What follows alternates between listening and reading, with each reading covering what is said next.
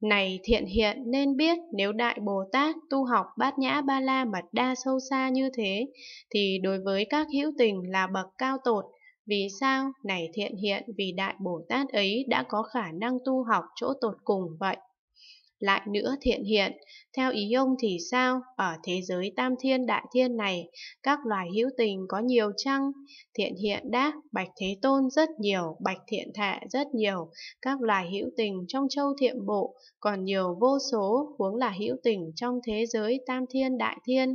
Phật dạy, này thiện hiện, giả sử các loài hữu tình ở thế giới tam thiên đại thiên chẳng phải trước chẳng phải sau, đều được thân người, được thân người rồi chẳng phải trước chẳng phải sau, đều chứng quả vị giác ngộ cao tột. Có thiện nam tử, thiện nữ nhân nào trụ Bồ Tát thừa, suốt cả cuộc đời thường dùng y phục, thức ăn uống, đồ nằm, thuốc thang, thượng diệu, cung kính cúng dường, tôn trọng ngợi khen các như lai ứng tránh đẳng giác này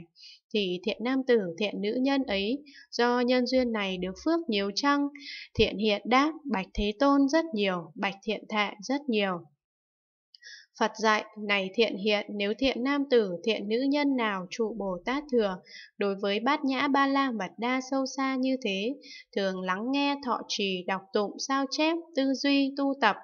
thì công đức đạt được nhiều hơn vị trước, vô lượng vô số. Vì sao? Này thiện hiện, vì bát nhã ba la mật đa sâu xa, đủ lợi ích lớn có khả năng làm cho chúng đại Bồ Tát mau dẫn đến quả vị giác ngộ cao tột, hơn hẳn các thiện căn đã được của vị trước. Vì vậy, này thiện hiện, nếu Đại Bồ Tát muốn đứng đầu tất cả hữu tình, thì nên học bát nhã ba la mật đa sâu xa như thế. Nếu Đại Bồ Tát muốn làm lợi ích cho khắp tất cả hữu tình, thì đối với người không ai cứu hộ, làm người cứu hộ, người không nơi nương tựa, làm chỗ nương dựa, người không nơi hướng về, làm chỗ hướng về, người không có mắt, làm đôi mắt sáng, người không ánh sáng làm ánh sáng, người lạc đường chỉ cho đường đi.